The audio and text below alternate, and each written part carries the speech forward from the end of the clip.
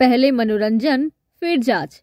जी हाँ ऐसा ही नज़ारा देखने को मिला छत्तीसगढ़ के दंतेवाड़ा ज़िले के एक गाँव में, जहाँ मलेरिया जाँच करने पहुँची एएनएम को यूनिफॉर्म में देखकर बच्चे भाग गए।